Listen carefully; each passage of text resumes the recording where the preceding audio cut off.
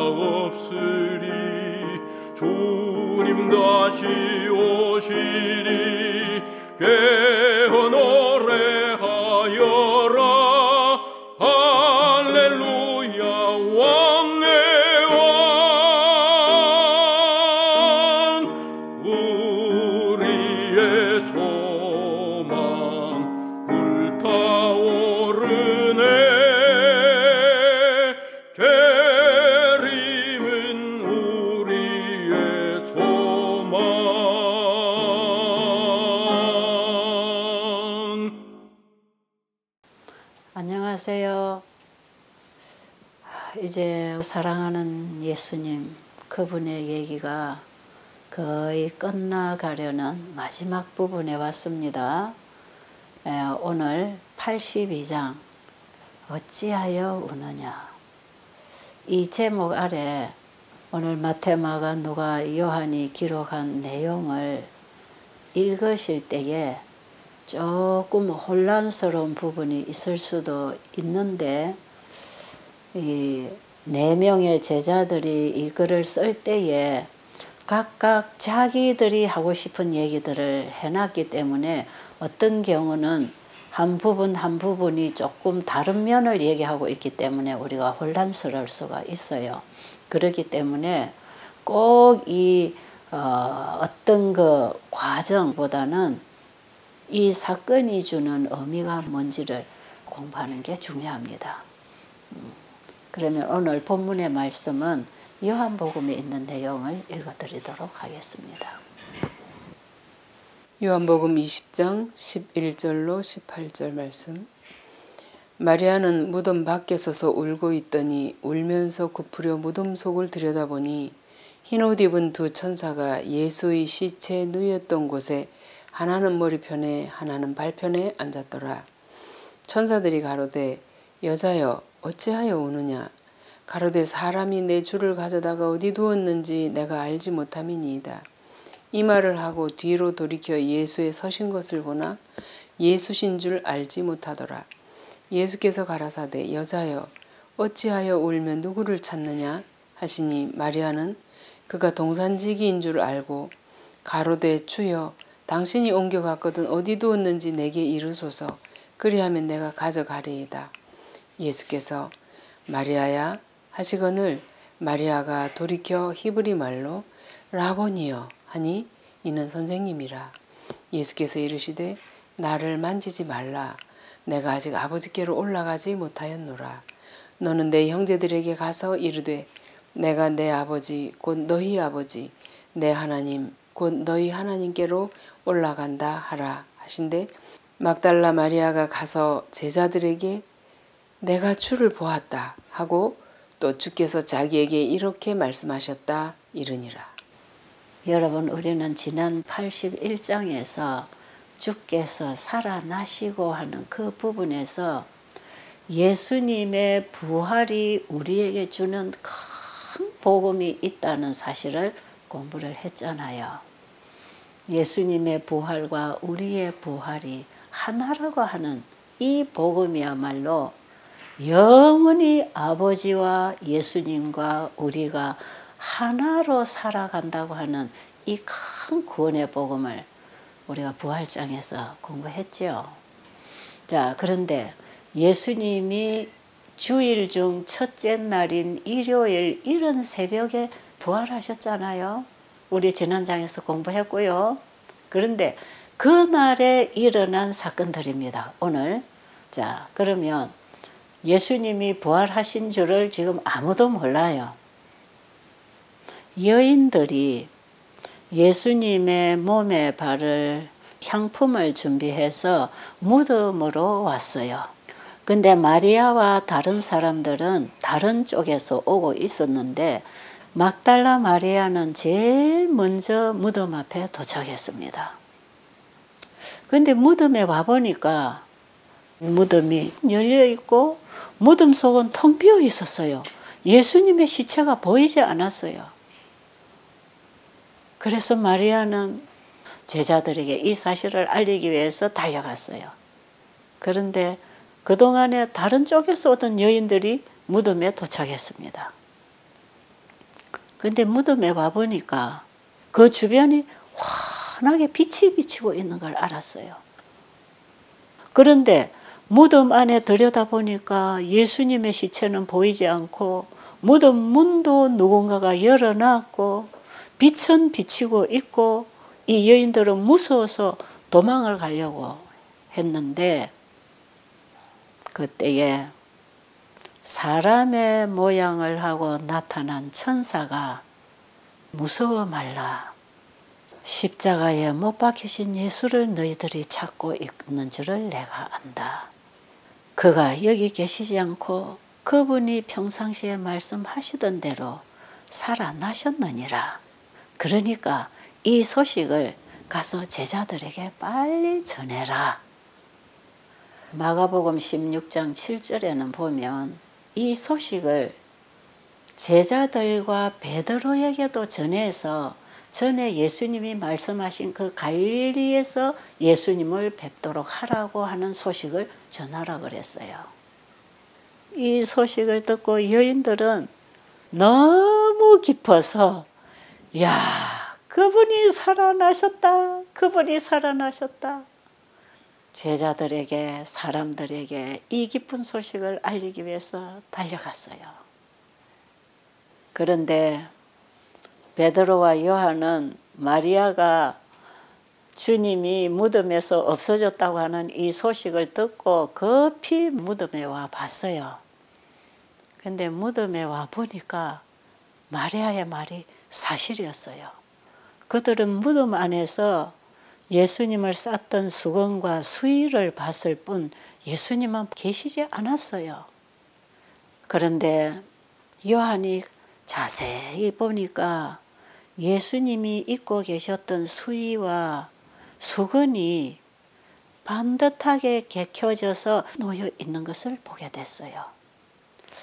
그러면서 평상시에 요한은 예수님 가까이에서 그분이 하시는 일들을 지켜봤잖아요.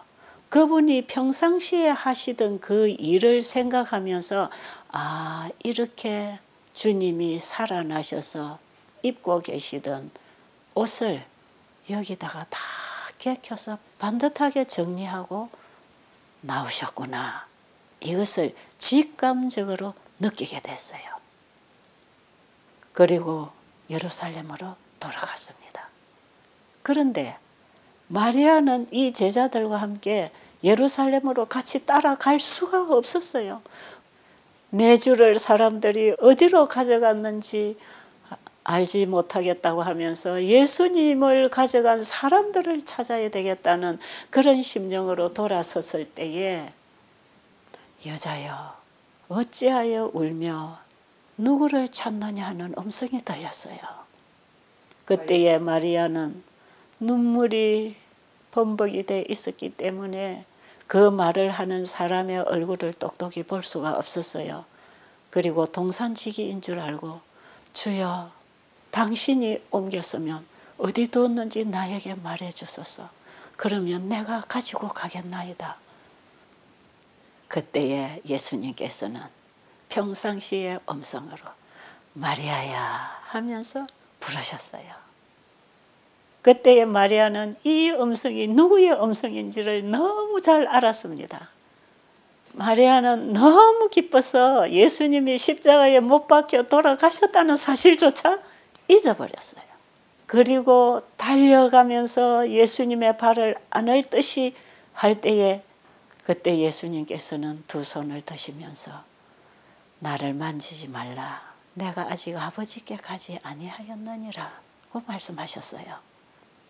그러시면서 예수님께서는 너는 가서 내 형제들에게 전해라. 내가 지금 나의 아버지 곧 너의 아버지 나의 하나님 곧 너의 하나님께로 올라간다 하라. 이 말씀을 제자들에게 전하라고 하시고 예수님은 바로 하늘 아버지께로 올라가셨어요. 그래서 마리아는 이 기쁜 소식을 가지고 제자들에게로 달려갔습니다. 여러분, 예수님께서 지금 뭐라고 말씀하셨지요? 나의 아버지가 곧 너의 아버지다. 나의 하나님이 곧 너의 하나님이다. 여러분, 이 말씀 속에 우리에게 주시는 큰 복음이 있단 말이에요. 그 예수님의 생명을 믿음으로 받아들인 우리 모든 사람들이 예수님과 하나가 된다는 뜻입니다. 그래서 히브리서 2장 11절에 보면 거룩하게 하신 자와 거룩하게 함을 입은 자가 다 하나에서 났기 때문에 한 형제가 된다 그랬잖아요. 여러분 이 복음을 이해할 수 있겠습니까? 그럼 지금 예수님께서 하늘에 올라가셔서 뭘 하시겠다는 겁니까?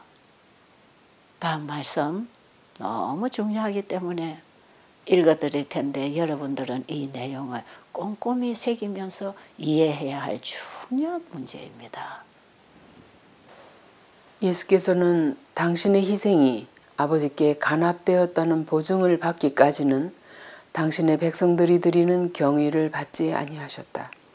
그분은 하늘 궁정에 올라가 하나님께로부터 사람들의 죄에 대한 당신의 속죄는 충분하였고 당신의 피로 모든 사람이 영생을 얻을 수 있다는 보증의 말씀을 친히 들으셨다. 아버지께서는 그리스도와 맺은 언약을 비준하셨다. 회개하고 순종하는 자들을 받으시며 당신의 아들을 사랑하시는 것처럼 그들을 사랑하실 것이다. 그리스도께서는 그분의 사업을 완성하시고 사람을 정금보다 희속해 하며 오빌의 순금보다 희귀케 하리로다고 하신 그분의 언약을 성취시켜야만 했다.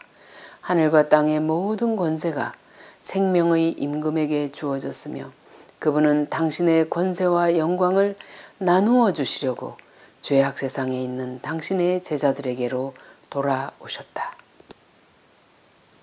예수님께서 부활하시고 적극적으로 아버지 앞에 가셔야 됐던 이유가 있어요.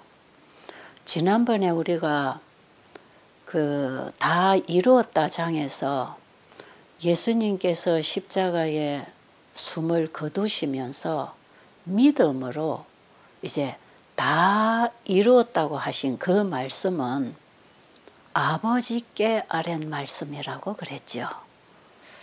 그렇습니다. 아버지와 약속하시고 이 땅에 오신 예수님은 그분이 이 땅에 오셔서 하시기로 하신 그 일을 이제 다 이루셨다는 말씀이거든요. 그런데 오늘 예수님이 부활하신 적시로 아버지에게 왜 가셨느냐 하면 이 약속에 대한 아버지의 보증의 말씀을 확실히 듣기 위해서 가신 것이고요. 그리고 예수님이 우리의 보증인이 되셔서 우리의 구속 사업을 완성시켰었을 때에 구원받은 백성들에게 주시는 보상과 상급이 무엇인지를 다시 아버지께 구하기 위해서 올라가신 것이에요.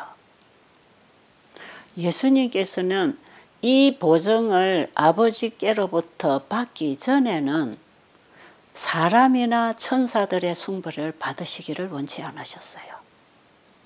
그리고 그 외에 예수님께서 이루신 그 결과에 대해서 아버지와 나눌 말씀이 있으셨다 이 말이죠. 요한복음 20장 16절과 17절 복음 주해에 있는 말씀 보면 예수님이 지금 하늘에 가서 아버지께 뭘 구하고 계시는지 기록되어 있기 때문에 읽어드리도록 하겠습니다. 그는 또한 지상에 있는 그의 택하신 자들을 위하여 구할 것이 있었다. 그가 간절히 바란 것은 그때 이후로 지속될 구속받은 자들과 아버지와의 관계, 하늘나라와의 관계를 분명하고 확실하게 하는 것이었다. 그가 하늘의 영광을 받을 수 있기 전에 그의 교회가 의롭다함을 받아야 하고 간합함을 받아야 한다.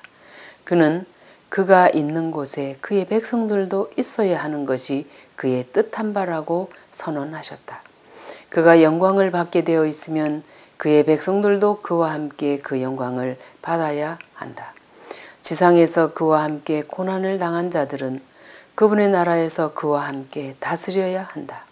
그리스도는 매우 분명한 방법으로 그의 교회를 위하여 간구를 올리시면서 교회의 이해관계를 그분 자신의 것과 동일시하시고 죽음보다 더 강한 사랑과 불변성을 가지시고 그분을 통해서 교회가 얻게 되는 권리와 칭호들을 옹호하셨다.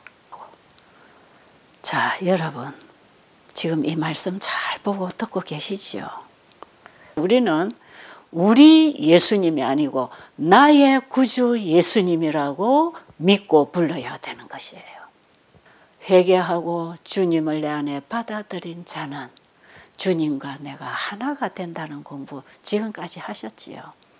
그게 곧 예수님과 아버지가 하나 된 예수 믿음이듯이 예수 믿음을 가진 성도는 이렇게 믿음으로 예수님과 내가 하나가 된단 말이에요. 이 일을 완성시키려고 예수님이 무덤에서 자기 생명을 가지고 부활하셨고 부활하신 그 생명을 우리 믿는 자에게 주시려고 하시는 것이에요. 그럼 우리는 그 예수님을 받아들여야 되지 않습니까? 자, 그러니까 예수님과 우리가 하나라는 것. 우리가 지난 시간에 부활장에서 예수님이 죽은 자 가운데서 부활하신 것처럼 우리도 죽어서 부활할 때는 예수님과 같은 생명과 신령한 몸을 입고 부활할 거라 그랬잖아요. 그래서 하나가 된다 그랬지요. 지금 예수님이 부활하시고 이제 하늘에 올라가셔서 아버지와 원래 이 땅에 기초를 놓기 이전부터 아버지와 의논하시고 약속하신 그 언약을 예수님이 이 땅에 오셔서 지키셨기 때문에 이제 아버지에 가서 확실한 비준을 받고 오셔야 된다 이 말이에요. 예수님이 하늘로 지금 올라가셨다고 하지 않습니까? 근데 예수님이 아버지 앞에 지금 무슨 얘기하고 계십니까?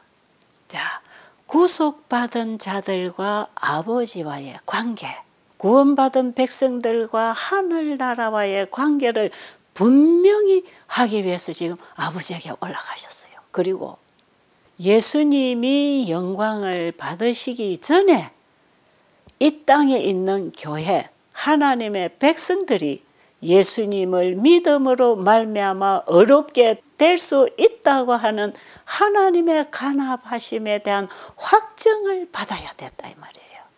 그리고 예수님 자신이 있는 곳에 나로 인하여 구원받은 이 백성들도 함께 있어야 된다고 하는 것을 확인받기 위해서 아버지 앞에 계신다 이 말이에요.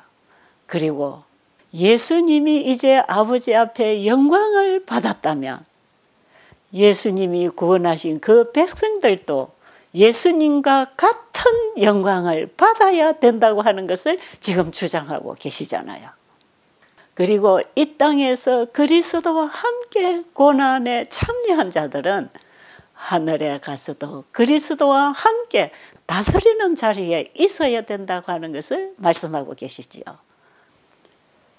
이런 주장을 하시는 예수님은 구원받은 백성들을 모든 면에서 예수님과 동일시해야 된다고 하는 사실을 간청하고 계시는 것입니다. 자, 예수님께서는 죽음보다 더 강한 사랑과 그 사랑에 대한 변함없는 마음으로 하나님 앞에 자신이 받은 모든 영광을 구원받은 백성들이 누려야 된다고 하는 사실을 확실하게 말씀하고 계시는 것이에요. 우리가 얻을 수 있는 권리와 칭호까지도 뭡니까? 아들이 되는 것이지요.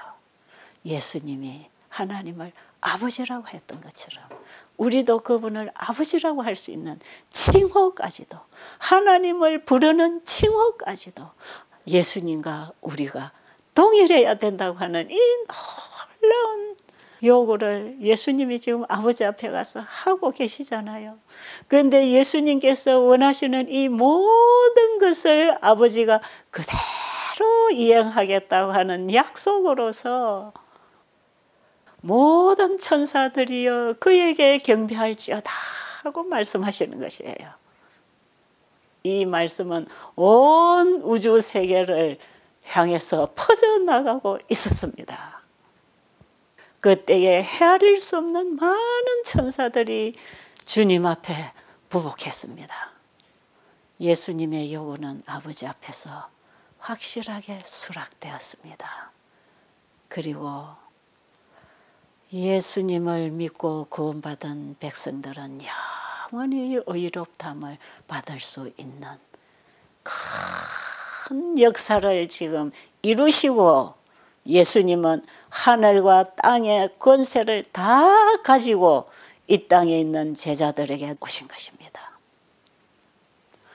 여러분 오늘 이 대목을 묵상하시고 이 큰 구원을 하나님께서 아들을 통해서 그저 주신 선물로 받아 누리게 되기를 간절히 바랍니다. 우리 인생에게 주어진 기회는 다만 이 땅에 태어나서 사는 동안에 이 큰 구원을 받을 수 있는 기회를 주신 것이에요. 자, 그런데 여러분, 예수님께서 부활하셔서 지금 아버지 앞에 가서 우리 인간들에게 줄 이 큰 선물을 받고 있는 동안에 이 땅에 있는 제자들의 상태는 어떠했습니까?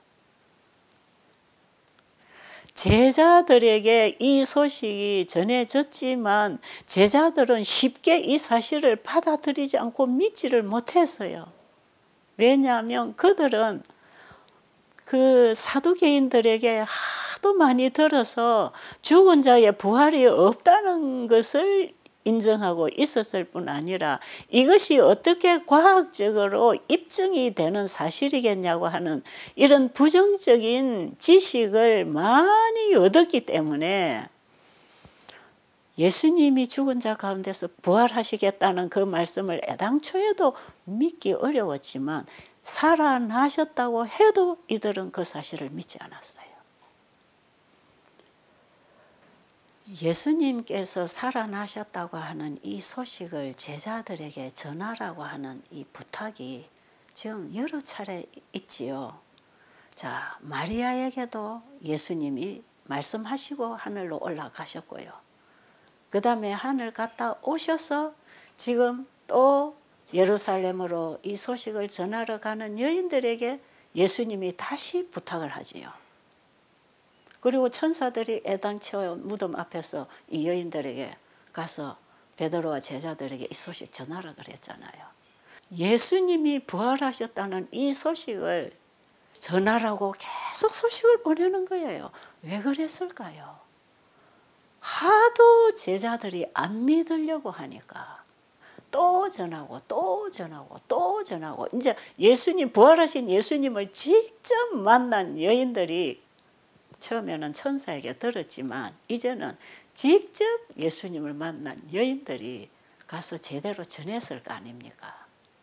이렇게 명확하게 예수님을 본 사람들이 와서 전했을 때 제자들은 예수님이 다시 부활하신다고 하시는 그 말씀을 생각나게는 했지만 아직도 믿지는 못했어요. 그들에게 일어나는 의심과 이 혼란스러움을 물리치기에는 너무나 지금 정신이 혼란스럽고 어지러웠어요. 왜 그러냐 하면 보세요.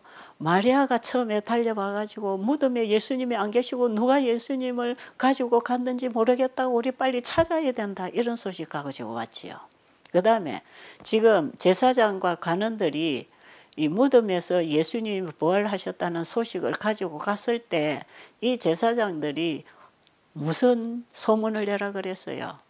밤에 자는 동안에 제자들이 예수님의 시체를 훔쳐갔다고 소문을 내라 했기 때문에 지금 이 제자들이 예수님의 시체를 훔쳐가서 무덤에 없다는 소문이 지금 예루살렘에 자자하게 지금 퍼지고 있단 말이에요. 이런 와중에 여자들이 와서 예수님이 또 부활하셨다고 하는 이런 소문들은 그야말로 너무 혼란스러웠어요. 그리고 예수님을 십자가에 못 박아 죽인 이 사람들이 이제 우리가 시체를 훔쳐갔다고 하는 이런 또 제목을 씌워가지고 우리를 어떻게 괴롭히고 처리를 할지 너무 이들은 무섭고 불안하고 두려웠어요. 여러분 보세요.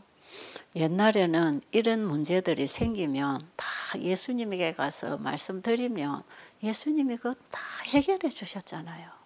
그런데 이제는 그들에게 당면한 문제를 해결해 주실 주님이 안 계시는데 이런 일들이 막 일어나고 있잖아요. 그러니까 제자들이 얼마나 무섭고 두렵고 불안했겠습니까? 그래서 예수님을 십자가에 처형하시는 이 모든 광경을 다 바라본 이 제자들은 우리도 우리의 선생님과 같은 운명에 처하는 것이 아닌가 하는 그런 두려움을 가지고 제자들은 다락방에 모여서 문을 굳게 잠그고 거기서 불안해하는 얘기들을 나누고 있었습니다. 부활하신 예수님이 그들의 모든 문제를 이제 해결해 주실 것인데 제자들은 부활하신 살아계신 주님을 안 믿었기 때문에 이렇게 무서워하고 불안했던 것이에요. 이러한 제자들의 경험은 오늘날 우리의 경험이라고 하는 것이에요. 저는 이 부분을 보면서 나도 이렇게 할 때가 너무나 많았구나. 이런 생각을 하게 되는데요. 여러분, 예수님은 살아계십니다. 하나님 살아계십니다. 제가 이 암 환자들이 죽음 앞에서 발발 떨고 있을 때 하나님 살아계십니다. 그리고 그분의 말씀도 살아계십니다. 지금 그분은 그분의 말씀을 통하여 우리 안에 창조의 생명을 불어넣어 우리를 살리시려고 합니다. 그 살아계신 하나님을 믿고 그 살아 역사하시는 하나님의 말씀을 받아들이십시오. 그러면 우리의 육신도 회복할 수 있지만 우리는 영생을 얻게 되는 것입니다.